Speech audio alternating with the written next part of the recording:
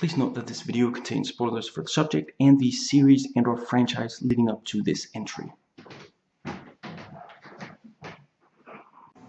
Put off by how long this video is, don't worry, I try to jam-pack my videos with as much content and as much detail as I possibly can. Anything I feel I can comment on and that I feel you might be interested in, I pretty much put in the video. I try not to repeat myself and talk fairly fast. X2 X-Men United movie thoughts. Not quite the last 40 minutes, but before the the very end wrap-up. The quote-unquote last 40 minutes of the movie is basically one major action scene, so quite like a Terminator climax like that. You know, we have a lot of different types of action scenes, but at the end of the day, there's just one objective. In the case of this, you know, they have to get into the Alkali Lake base, they have to grab the, the X-Kids and get safely back out. That's that's the only thing they're actually trying to, to do. You know, along the way, Magneto tries to kill humans instead of mutants, but at the end of the day, yeah, that is what it boils down to.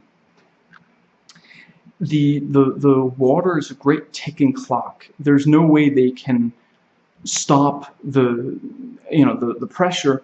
It's just about getting out in time. Now, in, you know, in the comics, the,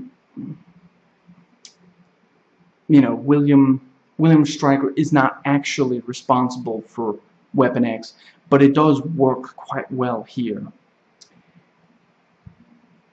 And the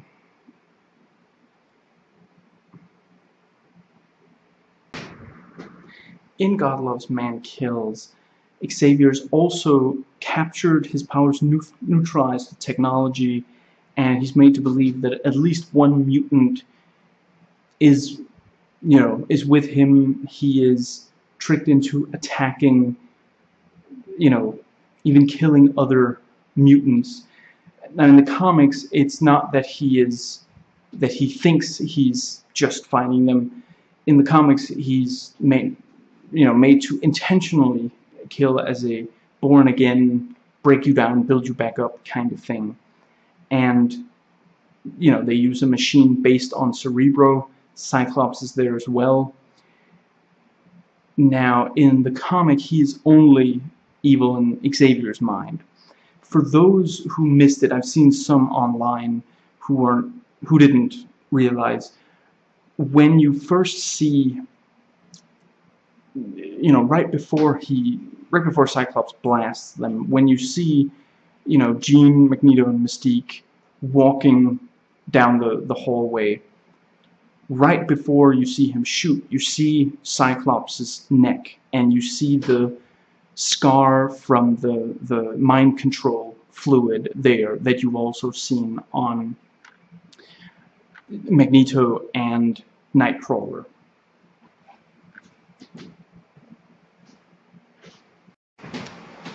I took just a few notes while watching this time.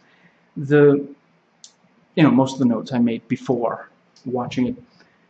When, you know, when Stryker is talking about how his wife, you know, she she took a drill in order to bore the images out. She'd seen Ben Carson in the 2016 debates, and she figured, evidently, brain surgery is not as difficult as we've been led to believe. And, you know, they're they're the end, you know, Stryker explain, you know, tells Wolverine, "You're a survivor. You're gonna make it."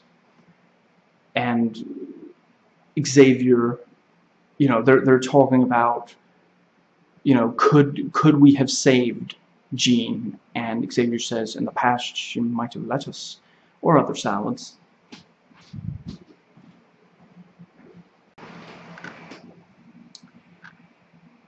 In the comic, the the you know the culmination is this church service. Since you know it's he's basically Jerry Falwell, and you know Stryker's riling the the crowd up to you know to the point where they threat to attack the people there who belong to a group that they hate. It's a lot like a Trump rally, except the cops actually protect the hated minority present.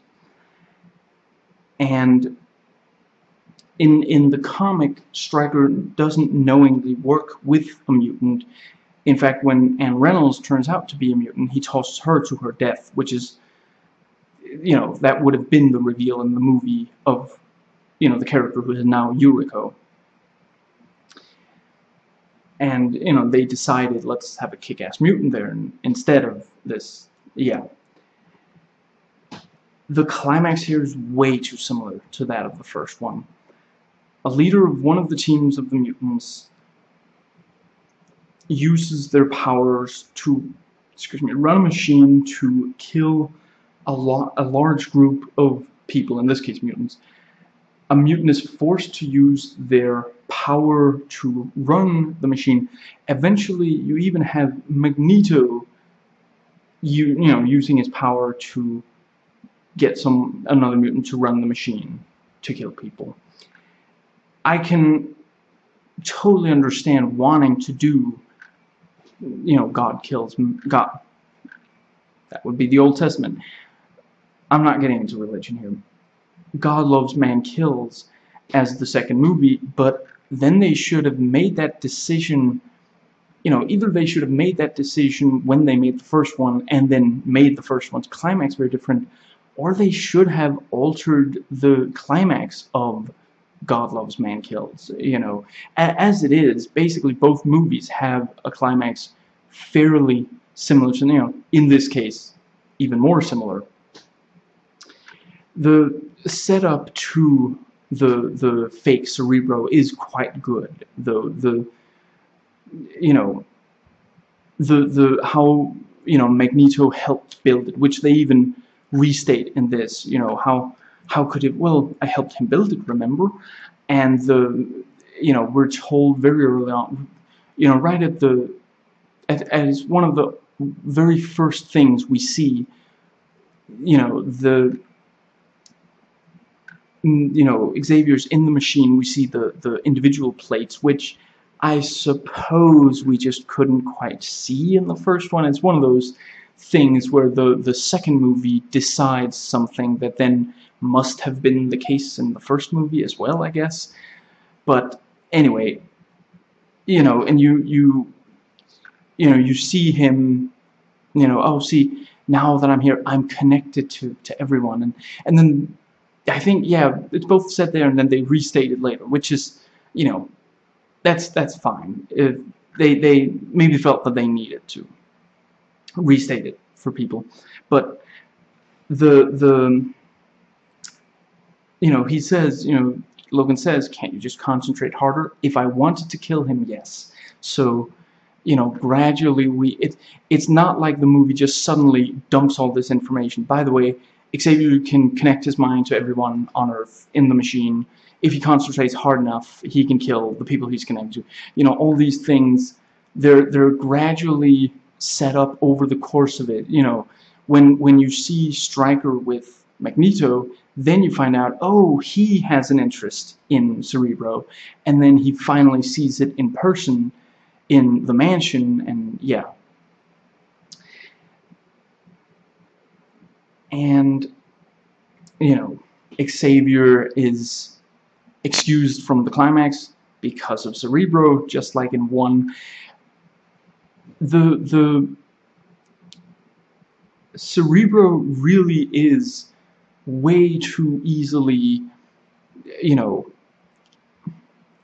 there's there's not it's not that difficult for the people who really badly want to get in to actually get in. You know, it, it can be done with shape-shifting powers and it can be done with technology. So yeah, they they really that's that's a bit of a problem. And you know, where in the first movie, basically, you know, it's it's the Brotherhood versus powerful people, non-mutants, And then this movie, you know, in part it's kind of, you could say it's the response to mutants attacking humans with their powers. And it's also, you know, as Magneto pointed out, suddenly human beings are attacking you know mutants who are never a threat to them. You know why are they why are they taking the children? What what good could that possibly do? And why are they just going into the mansion and you know using guns forcing their way in? If you know if if what they think they're going to get is you know if they think that there's you know this group of people might have some connection you know have you know maybe have you know have have some of them like make a statement I is interrogation no that's that's when you've arrested a anyway you know just talk to them ask them do you know this if if Stryker had actually gone in you know but that's of course that's not what he wants to happen but if Stryker just wanted to get, you know, hypothetically, let's say Stryker wasn't the one who got Nightcrawler to do it. If he just wanted to find out, you know, do they know Nightcrawler and such, you know, the no one at the mansion has claimed responsibility for the assassination attempt and it's not you know the the you know, they just know about, you know, oh, there's a jet and it comes out of the basketball court. They have no reason to think that they're a threat. Yes, they have abilities, but that doesn't mean that they're a threat just because one of them is. But this is what, you know, when someone powerful has the excuse and, you know, the, the, and it, it legitimately is even, you know, the, the attack. Yes, there was an attack and people got hurt, but the attack was actually, you know, you know, that's going to sound like 9-11 trutherism, but, you know, in reality, when the attack happened, the, you know, the administration, the Bush administration very quickly, you know, went into Iraq and, you know, they, they hurried through things that they wanted to happen. So, you know, I'm not saying that, you know, obviously they didn't do it. The hijackers did it. The, the, the government did not do it. You know, but once it happened, the, you know, someone powerful and bigoted took advantage of it and made life a lot worse for an entire group of people almost none of whom who had anything to do with it.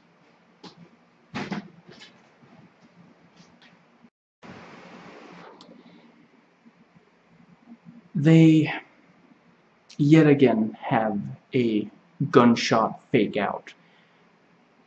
And this one is so much worse because it's with a child, you know, or prepubescent at least. No, yeah, the first one, that is a that is legitimately a child. You know, it turns out to be a tranquilizer. Yes, the, that fake out is in the comic, and yes, I hate it there as well.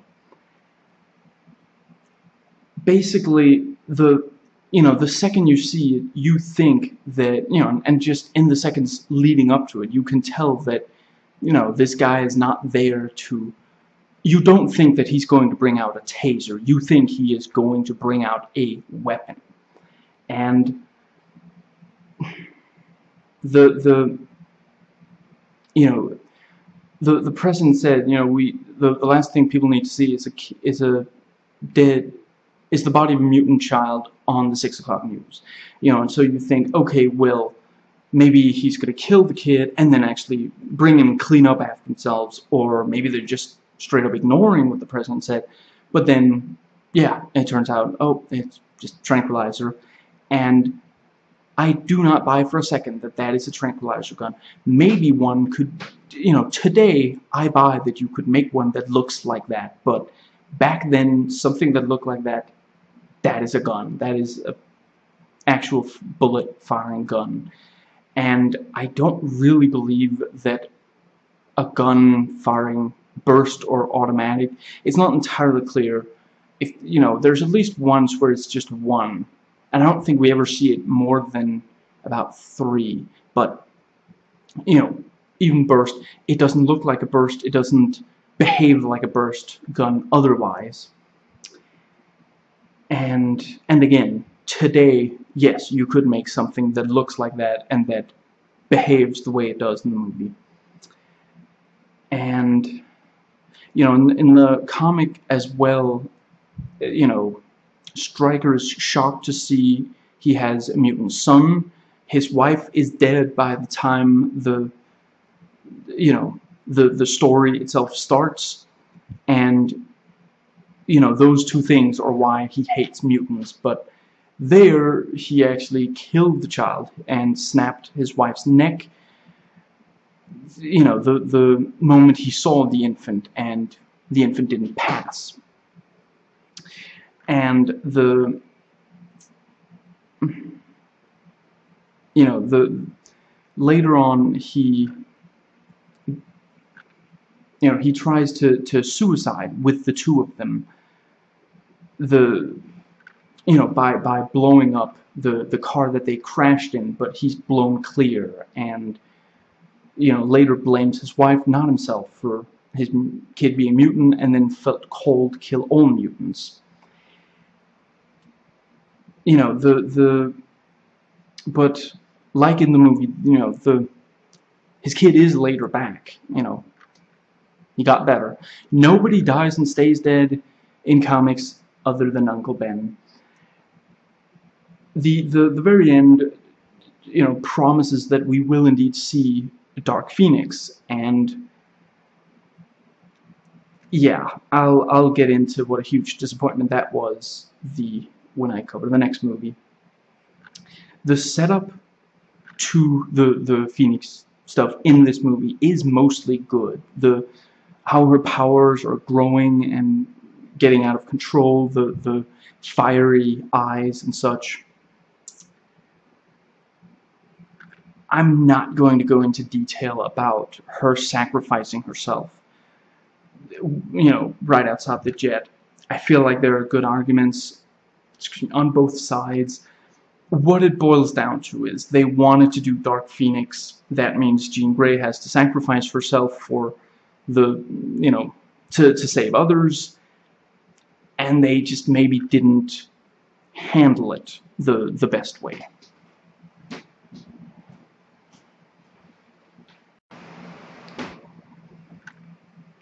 Yuriko is such a wasted character. The and and of a really good character as well. We barely get to know her at all in this movie. We don't we're not told a lot about Sabretooth, but we do get a real sense of who he is. The you know, Yuriko, we just see that, you know, she's she's strong and then we eventually see that she has these powers and she's a good fighter. That's that's it. We never see any even hint of her personality mind controlled or otherwise. You know, they, they don't even, they, they just barely hint at a connection between her and Wolverine. All they really seem to have in common are the adamantium skeleton. And not only do they have a perfect setup for connecting the two, they basically contradict a pretty major element, namely that the project leader of Weapon X was responsible for, I think, also giving Yuriko her adamantium. It was, it was something like that, at least.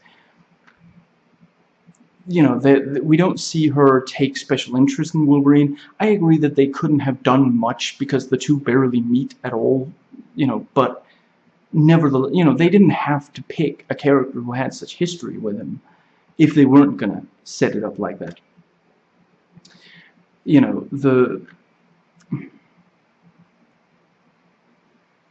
I, I find that she's, you know, I don't think Sabretooth was wasted in the first one. I already talked about that in the video for the first one. but I really do think Yuriko, Yuriko is. There is no further explaining. The, the way the, you know, if they were to ever do another movie where they brought her back, they would have to contradict stuff in this to make it meaningful between the two. Otherwise, you know, if if they make a movie where she is a major player and he is a major player, and you know, yeah, and and it keeps X2 in canon, well, goody, you have someone who can't remember the other and someone who's mind controlled to not feel anything specific towards the other fighting. It's still completely meaningless. And it's also kind of uncomfortable how we're not necessarily supposed to be glad, but at least relieved that she dies at the end of their fight. When she was never established to be evil, earlier on we actually see the horror in her eyes when, as she's waking up from the mind control, it's, you know, the there's an easy fix for this. Basically just, you know, and they could you know, work in some of the comic background.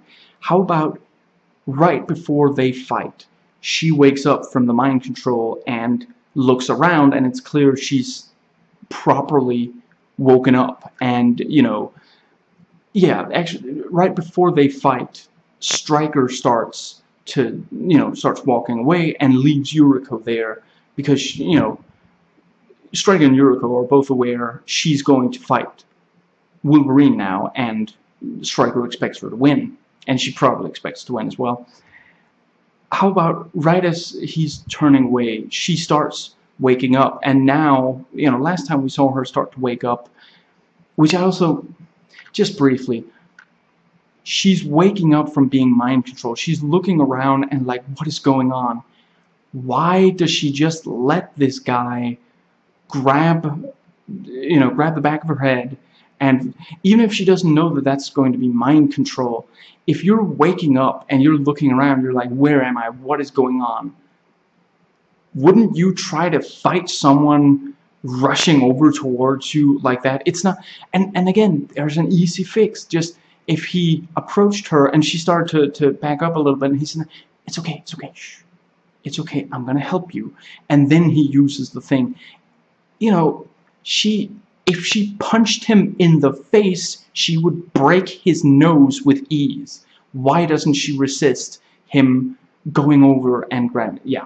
Anyway, you know, you have her start to wake up from mind control, look around, and okay, now you have Wolverine relieved. He's not going to have to fight someone who's being mind controlled against her will. And, you know, before you say, oh, but he didn't know, there's no way that he didn't know about the mind control by that point. He spent that much time with the other X-Men who do know about the mind control, and yeah, obviously he knows about mind control, and there's no real reason why... He, yeah, anyway, if nothing else, he could figure out, okay, that's she was being mind controlled, now she isn't anymore. But then she looks straight at him, and like maybe maybe it's just that she is willing to protect Stryker because he gave her adamantium. Maybe it's because when Wolverine escaped from Weapon X, he hurt or even killed someone she cares about, and this could very easily be established by flashback. You know, she's waking up, she looks around, she looks directly at him, and then we get the these PTSD flashbacks that he's been getting in the the movies. And you know he's literally he's just gotten a few. So we you know we're still in that mindset. We're we're ready for more of that. And yeah just you know movie shorthand for these two people care care about each other is a quick glimpse of like a hug or you know them them looking at each other and then you know yeah show a show a quick glimpse of them hugging or the like and then show Wolverine waking up, stabbing the guy, running off. After he's run off, she comes out and sees her her love there, and you know, there now it's not this really uncomfortable kind of. She doesn't even know what she like. We we already know that mind control made Magneto reveal secrets that could be used to hurt Xavier and the students. It made Nightcrawler the, you know, I forget. I, I want to say that Nostalgia Chick in her Loose Canon. She calls. She says like he's a, he's a puppy dog or something, in in X2. It turned him into an assassin, and it made Cyclops try to murder Jean. So yeah, we have every reason in the world to think that when she's not being mind controlled, she probably has no interest in hurting Wolverine. So, yeah, it's yeah. It's it's again the you know the bad guys are using mind control and that's you know the and and so they're they're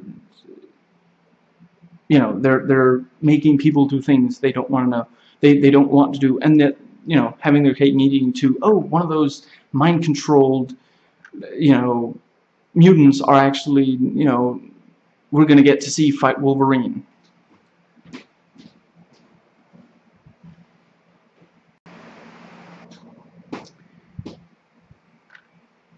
The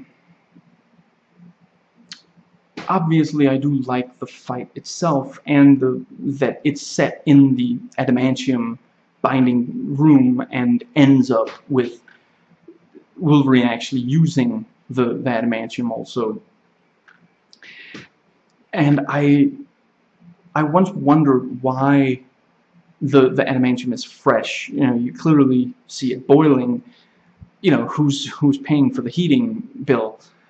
Apparently, originally, Archangel was supposed to have been given, you know, the the wings from from there, and you know they they so so yeah that's although I they could probably have rewritten to where it wasn't still fresh there but you know it's it's possible that he had plans to use it and and we just don't see that you know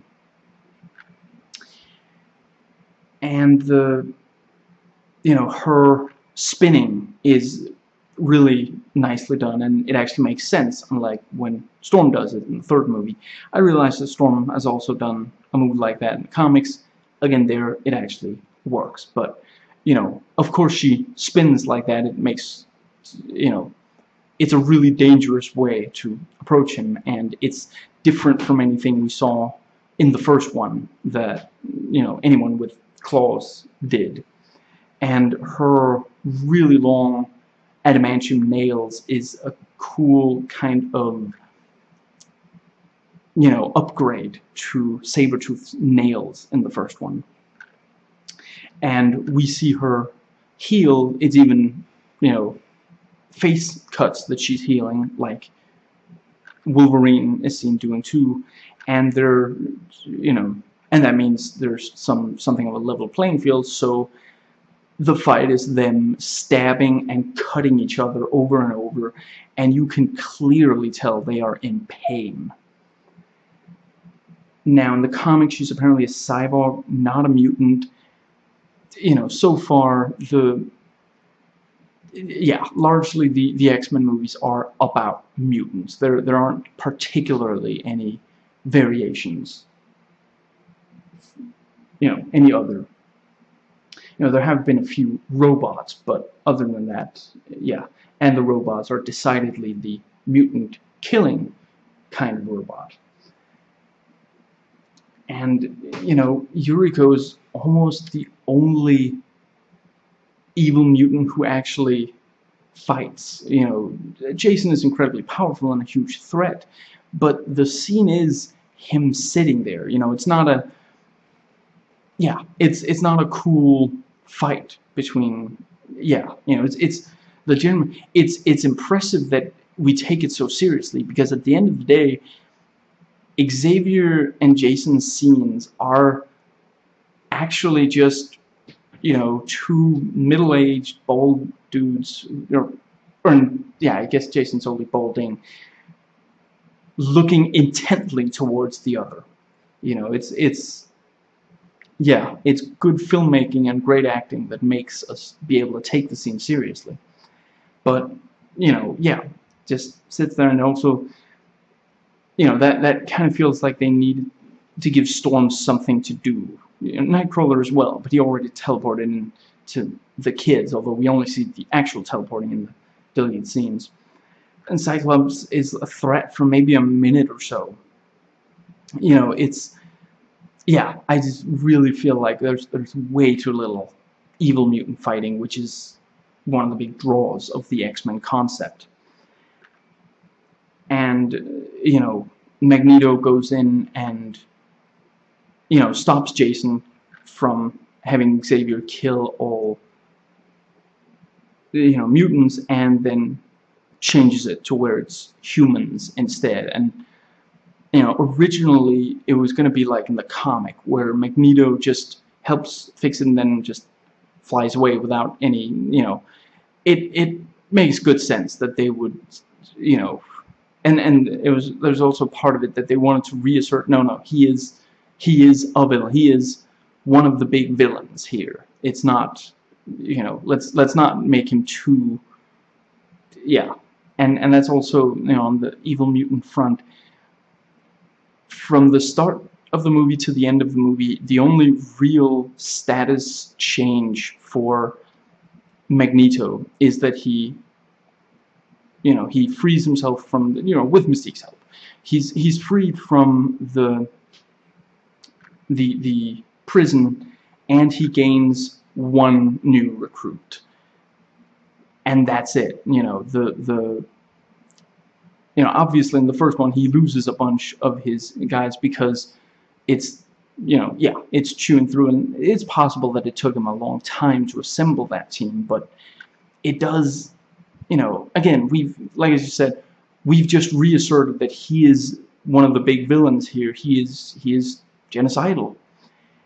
And he's left with just, you know, the, at, at least Pyro's also, like Magneto himself, fairly powerful because at the end of the day, Mystique, she's, you know, she's incredibly able. She's, you know, she can use computers and such like you wouldn't believe, and her ability comes in incredibly handy.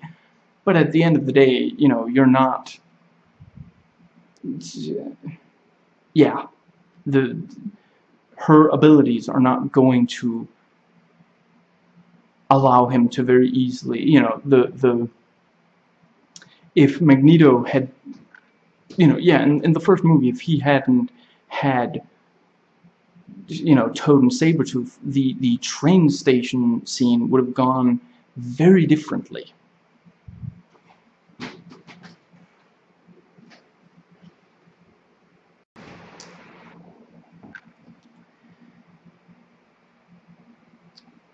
The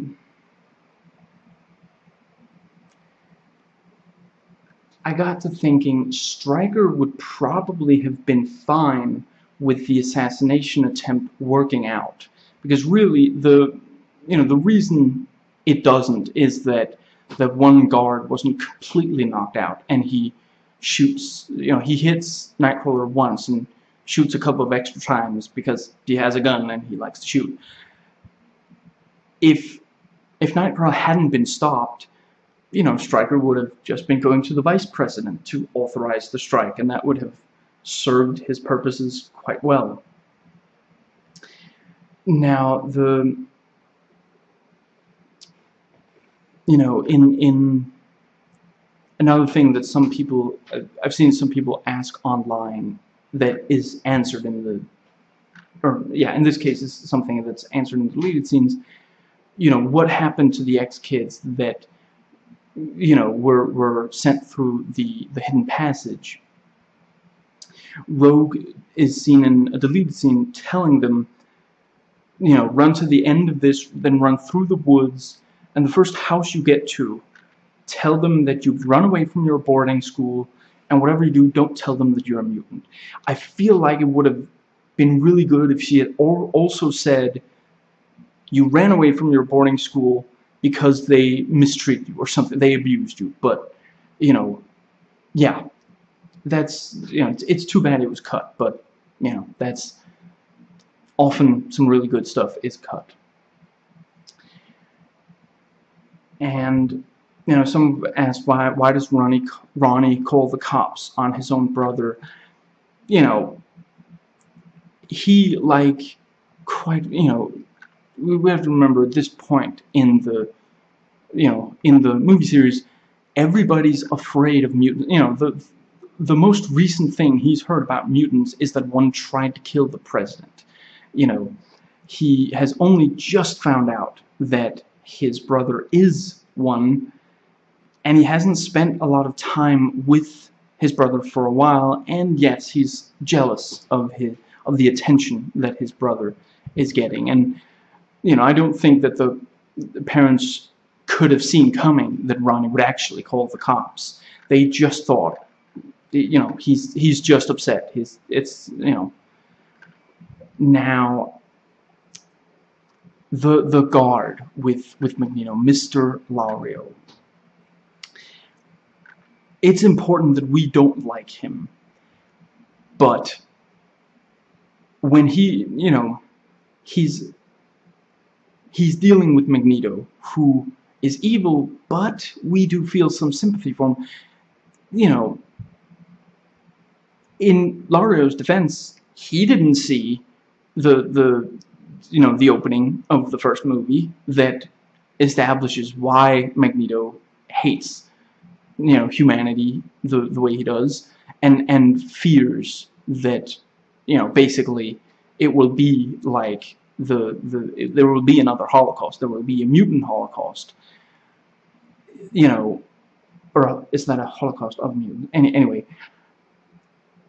So yeah you know how how does the movie make sure that you know we that we that we you know dislike Laurio for mistreating you know at the end of the first movie Magneto is stopped just short of committing genocide or, or I suppose it's more mass murder since they're yeah yeah you know yeah massacring these dozens of people many of whom are the most powerful people on, you know, on the planet.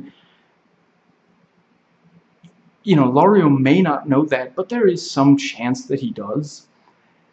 So, yeah, how, you know, how do we, how, how does the movie make sure that not only do we not like him, but that we're, you know, cheering Magneto on as he's killing this man and breaking out of prison. You know, we don't know for sure if Magneto kills the other guards, and we have no, you know, we don't know them at all. But, you know, clearly he dies. He dies right in front of us. We see his, you know, his body as his, you know, yeah, as as he's dying, we see that reflected in one of the the metal bowls that Magneto forms you know, it's it's not even that it's like this touching moment of, oh, he's, no, no, we, we see it reflected on one of these badass metal balls that Magneto's shaping, and then we see him fall, you know, face, you know, just face plant on the floor. You know, it's, yeah, we're, and, and we're, we're cheering Magneto on as he's doing this. He so so yeah how, do, how does the movie do this? Laurio helps the mind control of Magneto and he seems to have absolutely no problem with doing so. You know and and the mind control it's it's very nicely done. It's you know it is essentially torture he is you know and yeah the the way it's filmed and written it yeah and the you know he's also clearly willing to use violence on Magneto without it being in response to something. He he grabs his you know when when Magneto says you know, ah there's something different here and you know Laurio immediately grabs the the baton and of course what is movie shorthand for do not like this character. He's overweight, he's dumb and not in a sweet way, and in general he's not attractive. Yeah.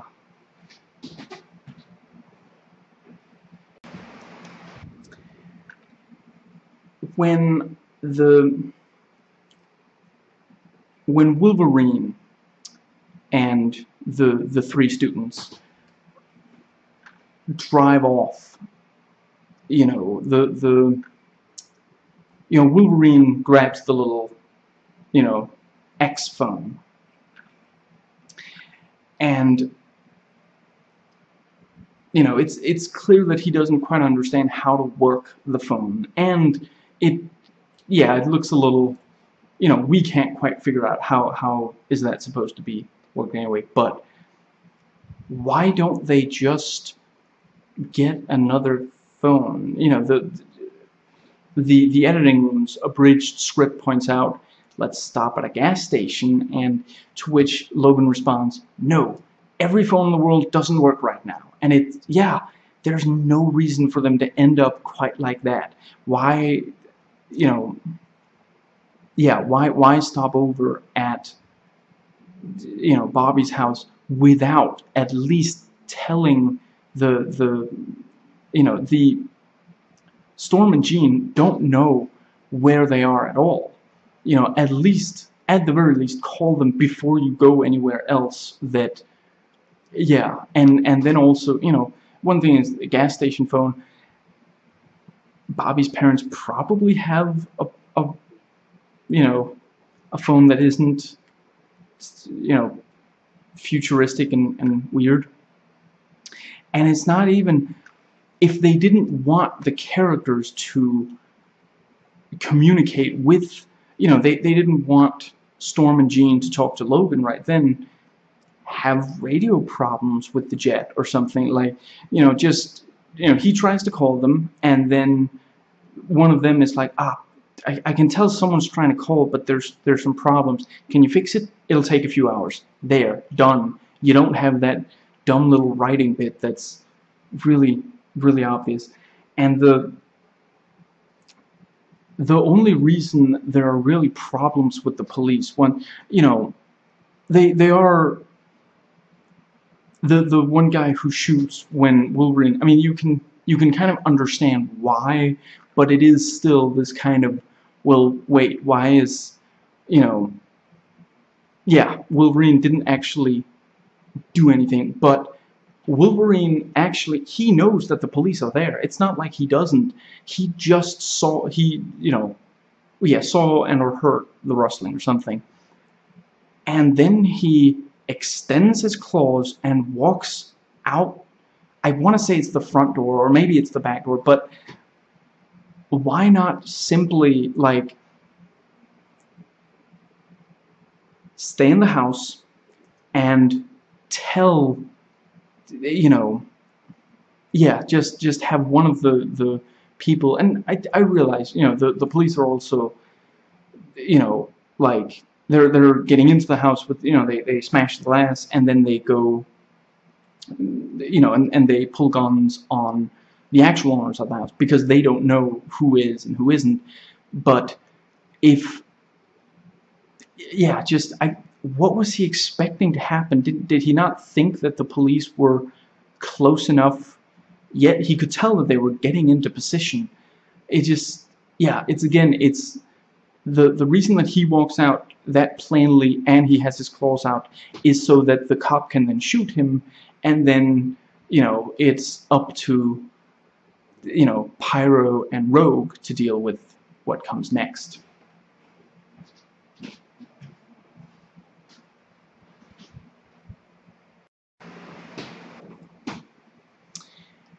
why do Storm and Jean not respond to the jet? I, it, they could still have written it to go badly, but you know, with with them still responding. But as it is, they just look like idiots. The, you know, I already mentioned if they, excuse me, had the had radio problems earlier. You know, how about okay, they they got to call Logan out because they seem to fix the radio, and then you know, the jet comes up and they try to respond, but the radio doesn't, you know, and one of them's like, I thought you fixed it. I thought I did, you know, or something, but, or just have them respond and have it still go back, you know, please respond, okay, now uh, land the plane, you know, just, yeah, have them respond. We, we didn't do anything. This is not about that. Land the plane, you know, just something. Make the, the military jets, make them like, you know, they, they, you know, it's, we are in it. The, the reason they're upset is the, the fire, fireballs and such. You know, they could still, you know, make them completely intransigent and, yeah, the, and that's why it doesn't work out. You know, it's, it's just, it's like, okay, you can fly a jet, but you can't answer a radio? Are you shy? The, you know, you could have them try to follow the order, you know, try to start land. Again, it could still, you know, go badly. That, you know, maybe it doesn't go quick enough, or maybe, maybe Pyro, mm, you know, screws up something, you know, creates a fireball to scare them, or something. I get that they don't want to, you know, you know, the, the, them not following order. Maybe they don't want to give up or something, but you're risking the students' lives. At least yell seatbelts to them or something. And that actually, I timed it from the from the first moment that it's clear that okay, you know, they they have 43 seconds to fasten the seatbelts. The you know once once the jet is in the air, there's really no excuse to not just put on a seatbelt. You know, I get that, okay, Logan doesn't because he's, you know, he doesn't follow your rules, man. But, you know, why, why don't the others just properly fasten their seatbelts, you know? And if you watch the scene carefully, when, you know, watching it and, and knowing that she's going to end up flying out the, the back, Rogue actually never does properly close her seat. You know, you see her struggling with it right after the the missile has hit, but she started to put the put her seatbelt on. You know, she she just never closed it properly. Evidently, she started to put it on earlier. The by the time the the missile hits, they've been in the air for minutes. So there's no again just why not just have the the the thing break so that she so that Rogue isn't just incompetent and completely reckless with her you know her own life again just have somebody's you know somebody's mutant power mess it up or something you know maybe maybe Logan you know tries to help you know maybe maybe she can't quite reach once yeah, she she's having trouble reaching the, the you know part of the the seatbelt. He grabs it, reaches over, is about to close it. Then they you know hit a air speed bump, turbulence, whatever. His claws, you know, he in the shock extends his claws, cuts, you know, not her this time, but cuts part of the seatbelt off so she can't properly close it.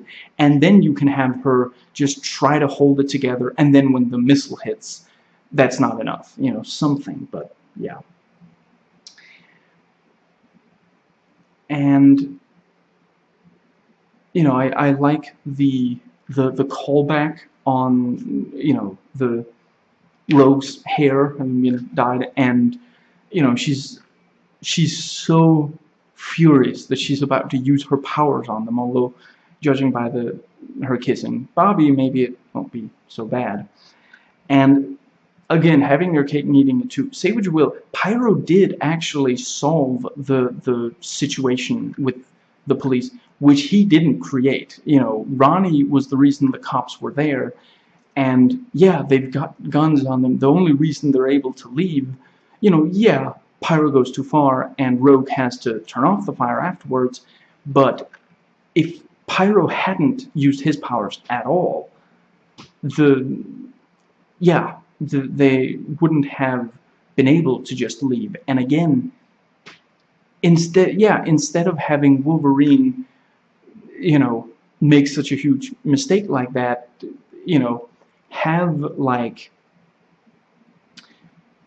yeah, let's say that, you know, they they walk out and yeah, maybe maybe Pyro has already said like once or twice, I don't like cops or something, and then like, you know, yeah, and then when when he sees cops, his like his eyes go go just nuts, and he's looking at the the different ones, and you can tell, oh, he's about he's gonna attack with the fire or something, and you know one of the one of the cops is like really nervous and and you know draws a gun on him, and Pyro's just about to, and Wolverine is like no, and either steps in the way or tries to shake some sense into Pyro or something. The cop shoots him, and then Pyro starts attacking all of them, thus also escalating the situation. But as it is, yeah, he shouldn't have done what he did, but if he hadn't, how would they have gotten out of the situation?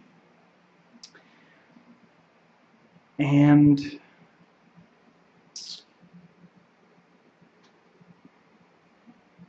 Originally, the the fire would be put out by a storm using rain on it, but that was that was too expensive, and so they instead have Rogue take ownership of her powers, which is also, you know, you can talk about, oh, she, you know, it's the only time she uses her powers, and it's against, you know, someone on her own team or something, you know. Yeah, it's the the. At the end of the day, Rogue, the way her powers work in these movies, and the fact that she's not, she doesn't have Miss Marvel's, yeah, she was never going to be that exciting in like fighting situations as far as using her power goes. But in this yeah having her you know she is choosing to use her power and she is and by doing it you know that is her solving a situation that she didn't create. So you know that that is good. And you know even if even if she didn't need to put out the fires with his powers, one of them needed to, to stop him from doing more fire stuff. And it actually, again, doesn't completely destroy him that she does that, but he does, he is clearly weakened, which is more than what happened to Bobby.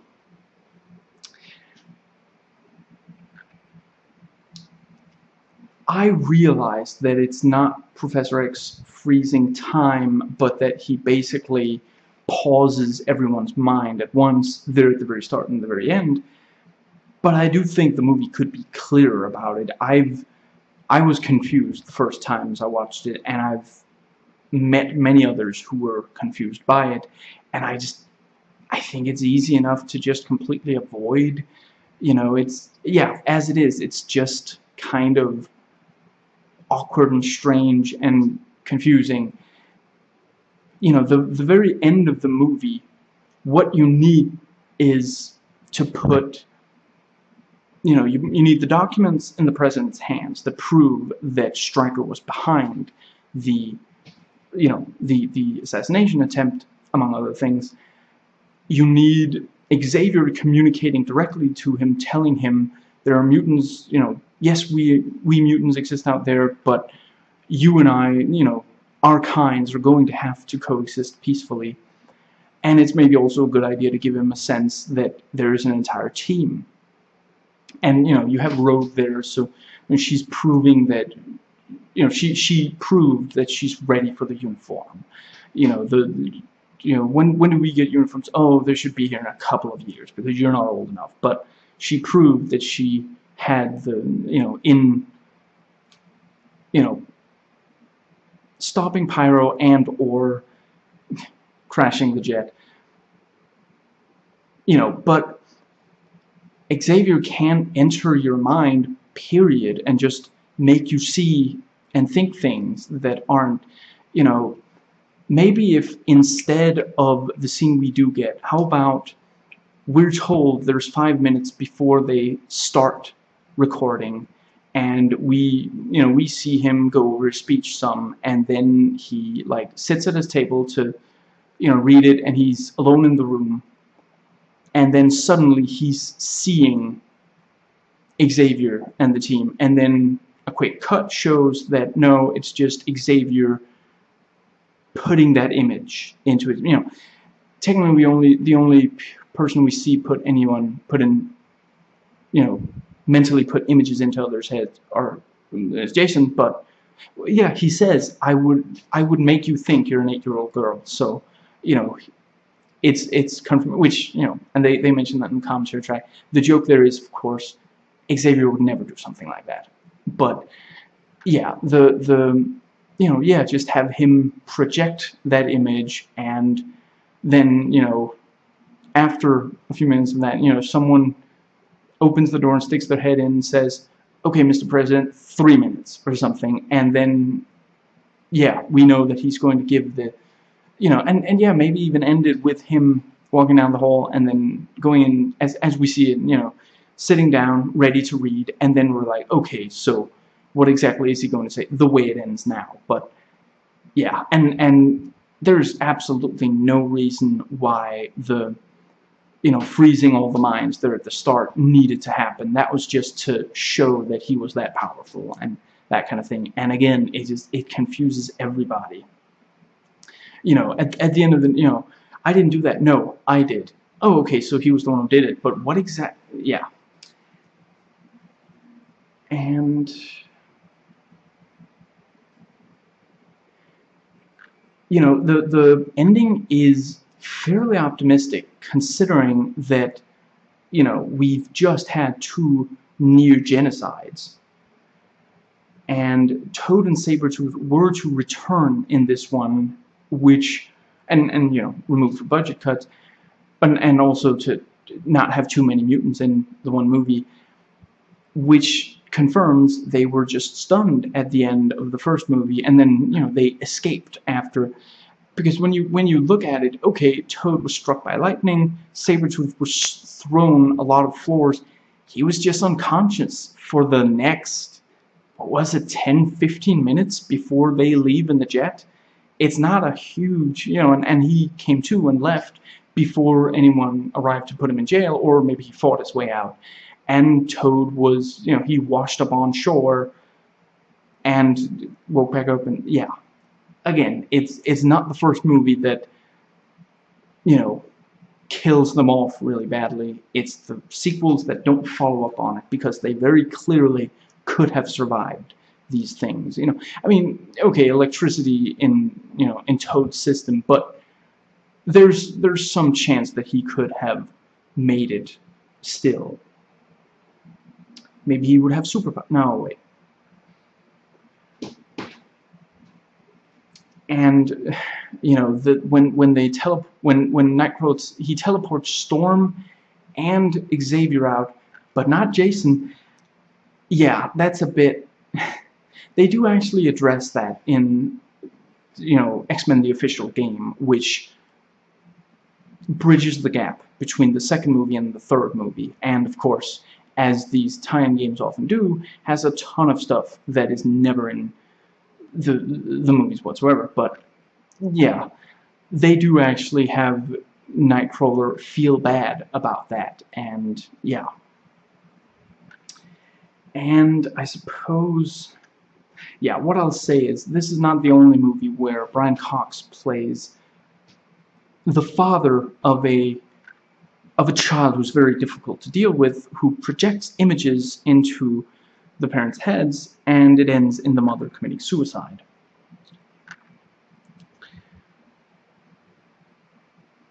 And in, you know, both in this movie and the comic, Stryker you know, wants mutants to die, although he may not want to just say that, you know, say that exact, I want mutants to die. And he has dozens of armed men at his command, ready, even eager to kill mutants.